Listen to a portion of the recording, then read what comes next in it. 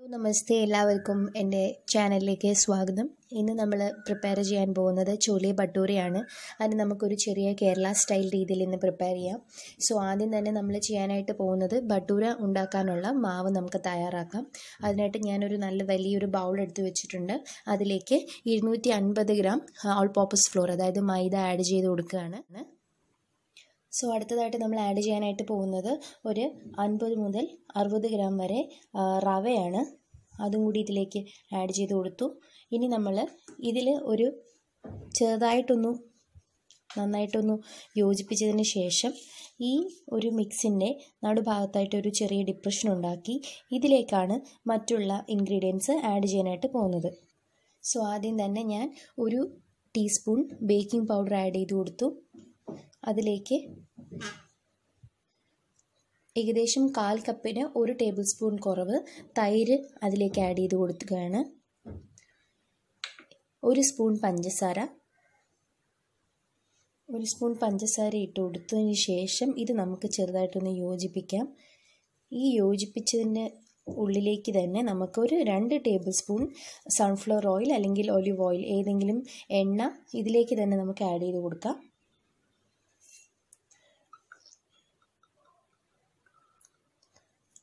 അതും ഒന്ന് മിക്സ് ചെയ്തെടുക്കാം. ഇനി നമ്മൾ ചെയ്യാനായിട്ട് പോകുന്നത് ഈ ബാക്കിയുള്ള മാവിലേക്ക് നമ്മളുടെ ഈ ഒരു മിശ്രിതം ഒരുമിച്ചൊന്ന് ചേർക്കുകയാണ്. അതിനുശേഷം നമ്മൾ നമുക്ക് ആവശ്യത്തിനുള്ള വെള്ളം ഉപയോഗിച്ച് ഇതിനെ ഒരു ചപ്പാത്തിയുടെയൊക്കെ ഒരു പരുവത്തിൽ കുഴച്ചെടുക്കുകയാണ് ചെയ്യുന്നത്. വെള്ളം നമ്മൾ ഉപയോഗിക്കുന്നത് ചെറു ചൂടുവെള്ളമായിരിക്കണം. സോ ഞാൻ ഇതൊന്ന് മിക്സ് ചെയ്തതിന് ശേഷം ചെറു ചൂടുവെള്ളം കുറച്ച് കുറച്ചായിട്ട് ഇതിലേക്ക് ആഡ് ചെയ്താണ് നമ്മൾ ആ ഒരു മാവ് കുഴച്ചെടുക്കേണ്ടത്. വെള്ളത്തിന് ചൂട് ക്രമാതീതമായി കൂടാതിരിക്കാൻ ശ്രദ്ധിക്കണം. ഇളം ചൂട് മാത്രമേ പാടുള്ളൂ. വെള്ളം നമ്മൾ കുറച്ച് കുറച്ചായിട്ട് ഒഴിച്ചതിന് ശേഷമാണ് ഇത് മിക്സ് ചെയ്തെടുക്കേണ്ടത്. സോ നന്നായിട്ട് നമുക്കൊന്ന് വെള്ളം ആവശ്യത്തിന് വെള്ളം ഉപയോഗിച്ചതിനെ ഒന്ന് മിക്സ് ചെയ്ത് നല്ലൊരു മാവായിട്ട് സോഫ്റ്റ് ഡോ ആയിട്ട് ഇതിനെ മാറ്റാം. പ്രത്യേകം ശ്രദ്ധിക്കേണ്ട മറ്റൊരു കാര്യം നമ്മൾ ഇത് കുഴച്ച് ഇതൊരു രണ്ട് മണിക്കൂർ മുതൽ നാല് മണിക്കൂർ വരെ നമുക്കിത് റൈസ് ചെയ്യാനായിട്ട് വെക്കേണ്ടതാണ്. സോ അതുകൊണ്ട് അത്യാവശ്യം വലിയ ഒരു ബൗളിൽ നമ്മൾ എടുത്തിട്ടുണ്ടെങ്കിൽ അതിൽ തന്നെ നമുക്ക് ഒരു വോം പ്ലേസിൽ ഇതിനെ നമുക്ക് റൈസ് ചെയ്യാനായിട്ട് വെക്കാനായിട്ട് സാധിക്കും. നമുക്ക് വളരെ എളുപ്പത്തിൽ ചെയ്തെടുക്കാൻ പറ്റുന്ന ഒരു ഡിഫറെന്റ് ആയിട്ടുള്ളൊരു ഡിഷാണ് നമുക്കൊക്കെ വളരെ ഇഷ്ടമാണ്. പിന്നെ ഞാൻ കേരള സ്റ്റൈൽ എന്ന് പറയാനായിട്ട് കാരണമെന്ന് പറഞ്ഞാൽ നമ്മൾ ചോലെ അതായത് വെള്ളക്കടല നമുക്ക് നമ്മുടേതായ മസാലകൾ ഉപയോഗിച്ച് ചെയ്തെടുക്കാം. അതല്ല എന്നുണ്ടെങ്കിൽ ചോലെ ഭട്ടൂരയുടെ മസാല പാക്കറ്റായിട്ട് മസാലയായിട്ട് വാങ്ങാനായിട്ട് കിട്ടും. അങ്ങനെയും ചെയ്യാം. നമ്മൾ ഇന്നൊരു നമ്മുടേതായ രീതിയിലൊരു ഡിഫറെന്റ് ആയിട്ടുള്ളൊരു ചോലയാണ് പ്രിപ്പയർ ചെയ്യാനായിട്ട് പോകുന്നത്. സോ മാവ് ഒരുവിധം യോജിച്ച് വന്നിട്ടുണ്ട്.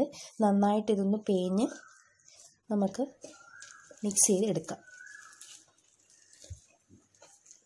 ഇത് നമുക്ക് രണ്ട് മുതൽ നാല് മണിക്കൂർ വരെ ഒരു വാം ആയിട്ടുള്ള ഒരു സൾഫ് ഒരു സ്ഥലത്ത് ഇതൊന്ന് കവർ ചെയ്ത് നമുക്ക് വെക്കാം. അതാണ് നമ്മൾ അടുത്തായിട്ട് ചെയ്യാനായിട്ട് പോകുന്നത്. നമ്മൾ റൈസ് അവൻ വെച്ചിട്ടുണ്ട്. നമുക്കിനി ബട്ടൂരയുടെ ഒപ്പം കഴിക്കാനുള്ള ചോലയുടെ പ്രിപ്പറേഷൻസിലേക്ക് കിടക്കാം. ഇത് ഞാൻ ഓവർ നൈറ്റ് സോക്ക് ചെയ്ത് വെച്ചിട്ടുള്ള വെള്ളക്കടലയാണ്. അത് ഞാൻ കുക്കറിൽ രാത്രി സോക്ക് ചെയ്ത് വെച്ചതിന് ശേഷം രാവിലെ അതെടുത്ത് കുക്കറിലൊരു എട്ട് മുതൽ പത്ത് വിസിൽ വരെ ചെയ്ത്. ഉപ്പിട്ട് വേവിച്ച് വെച്ചിരിക്കുന്നതാണ്. അപ്പോൾ നന്നായിട്ട് വെന്തിട്ടുണ്ട്. ഇതാണ് വെള്ളക്കടലയുടെ ആ ഒരു പരുവെന്ന് പറയുന്നത്. സോ ഇനി നമുക്ക് കറി എങ്ങനെയാണ് പ്രിപ്പയർ ചെയ്യുന്നത് എന്ന് നോക്കാം. സോ നമുക്ക് ചോലി പ്രിപ്പയർ ചെയ്യാനായിട്ട് സ്റ്റാർട്ട് ചെയ്യാം. ഞാനൊരു പാൻ വെച്ചിട്ടുണ്ട്. അതിലേക്ക് ഒരു രണ്ട് tablespoon vegetable oil sunflower ഓയിലോ ഒലിവ് ഓയിലോ ഏതെങ്കിലും ആഡ് ചെയ്ത് കൊടുക്കുക. എണ്ണ ചൂടാകുമ്പോഴേക്കും അതിലേക്ക് ഒരു നുള്ള ചെറിയ ജീരകം ഒന്ന് മൂപ്പിച്ചെടുക്കാം അതിലേക്ക് ചെറുതായി അരിഞ്ഞു വെച്ചിരിക്കുന്ന മൂന്ന് സവാള ആഡ് ചെയ്ത് കൊടുക്കാം.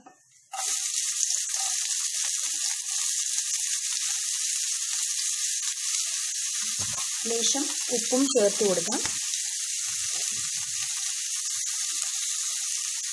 ഇത് നന്നായി വഴറ്റി ഗോൾഡൻ ബ്രൗൺ ആവുന്നത് വരെ നമുക്ക് വഴറ്റിയെടുക്കണം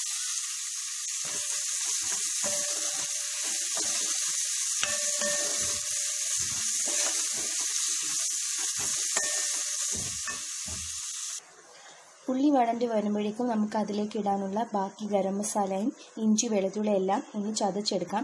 എപ്പോഴും ഇഞ്ചി അതുപോലെ വെളുത്തുള്ളി ഗരം മസാല അതിന്റെ കൂട്ടുകൾ അതുപോലെ തന്നെ അതിന്റെ ഒപ്പം ചേർക്കുന്ന കുരുമുളക് എന്നിവയെല്ലാം ഇതിലൊന്ന് തല്ലിയതിന് ശേഷം നമ്മൾ ആഡ് ചെയ്യുകയാണെങ്കിൽ നമ്മുടെ കറികൾക്കും ഗ്രേവികൾക്കും ഒരു പ്രത്യേകതരം മണം ഉണ്ടായിരിക്കുന്നതാണ്. സോ നമുക്കിതൊന്ന് തല്ലിയെടുക്കാം. ഇഞ്ചി വെളുത്തുള്ളി നന്നായിട്ട് തല്ലി എടുത്തിട്ടുണ്ട്. ഇതിലേക്ക് നമുക്ക് ഗ്രാമ്പ് പട്ട ഏലക്ക അതും കൂടി ആഡ് ചെയ്ത് കുരുമുളകും ആഡ് ചെയ്ത് ഒന്നുകൂടി ചതച്ചെടുക്കാം.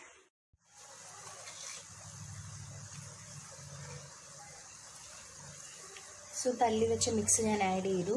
സവാള വഴണ്ടി വരുന്നതേ ഉള്ളൂ. അതൊന്ന് മിക്സ് ചെയ്ത് സവാള ഗോൾഡൻ ബ്രൗൺ കളർ ആവുന്നത് വരെ വെയിറ്റ് ചെയ്യാം. ഉള്ളി നന്നായിട്ട് നല്ല ബ്രൗൺ കളറായിട്ട് വഴഞ്ഞ് വന്നിട്ടുണ്ട്. ഇനിയിപ്പോൾ നമുക്ക് വളരെ കുറച്ച് ജോലി മാത്രമേ ഉള്ളൂ. ഇനി നമ്മൾ പൊടികളൊക്കെ ആഡ് ചെയ്ത് കൊടുക്കുകയാണ്.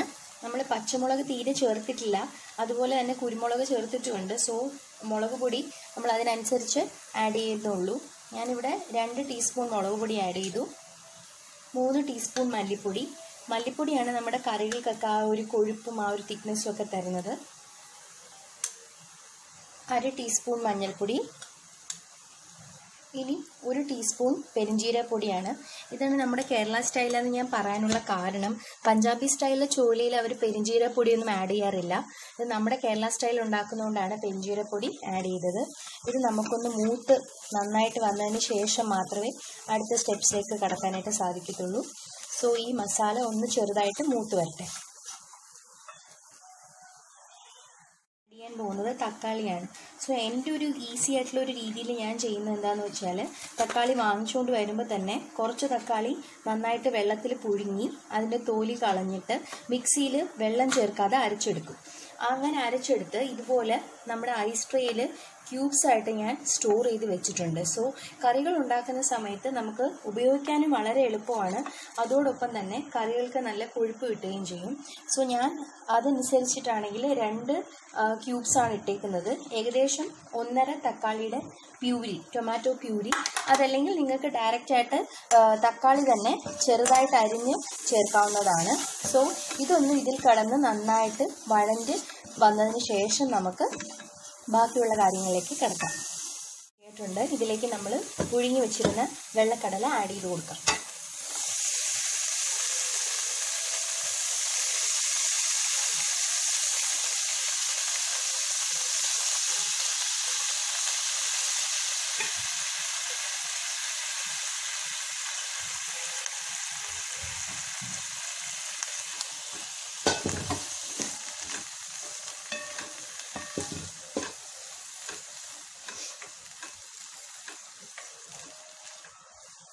സോ ഇനി കുക്കിംഗ് ടൈം അധികം എടുക്കത്തില്ല. സോ നമുക്കിതിന് കുറച്ച് ഗ്രേവിയുടെ ആവശ്യമുള്ളത് കൊണ്ട് തന്നെ നമ്മൾ ആ കടല പുഴുങ്ങിയ വെള്ളത്തിൽ നിന്നും ഏകദേശം അരക്കപ്പ് വെള്ളം കൂടി ഇതിലേക്ക് നമുക്ക് ഒഴിച്ചു ചേർക്കാം.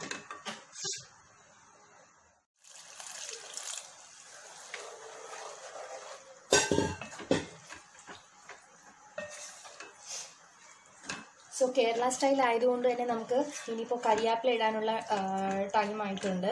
സോ നമുക്ക് കരിവേപ്പില ആഡ് ചെയ്ത് കൊടുക്കാം. അതോടൊപ്പം തന്നെ മല്ലിയില ഇടണമെങ്കിൽ മല്ലിയിലയും ഫൈനലായിട്ട് ആഡ് ചെയ്തതിന് ശേഷം ഒരു അഞ്ച് മിനിറ്റ് മൂടി വെക്കാം.